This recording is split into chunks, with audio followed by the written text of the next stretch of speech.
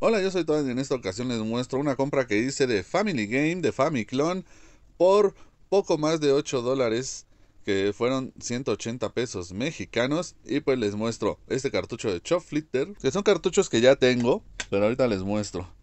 Aquí tenemos este, que aquí nos aparece como Will Queen Manu.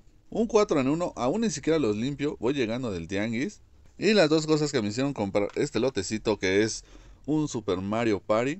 Este es el recopilatorio que trae Mario Bros, Super Mario Bros, Super Mario Bros 2, Super Mario Bros 3 y pues otros dos juegos que sería Super Mario de los Levels y pues uno que es un Super Mario que se le va borrando una parte de la pantalla. Está bien interesante este recopilatorio, es como un Super Mario All Star para la Family Game y aparte de eso pues trae un juego más de los que traía ese Super Mario All Star para Super Nintendo, pero imagínense en Family Game para su NES. Pues yo ya lo tengo, pero pues la verdad es que vale bastante la pena incluso para hacer algún cambio por un buen título que yo no tenga.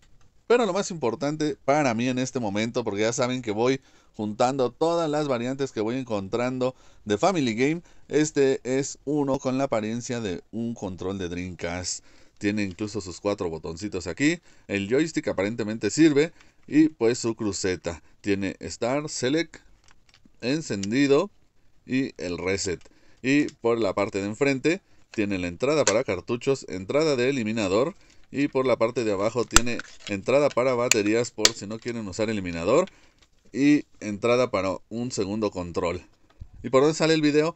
Bueno, pues tiene esta entrada que lamentablemente no tengo el cable para probarlo, pero me gusta juntar todo lo que se pueda de Family Game en cuanto a apariencias, en cuanto a modelos, y pues este nunca lo había visto, no sabía que existía su nombre, Super Joystick TV Game Power Player. Ustedes ya lo habían visto, déjenmelo ahí en los comentarios y qué tal sale este modelo. Nos estamos viendo en la siguiente ocasión.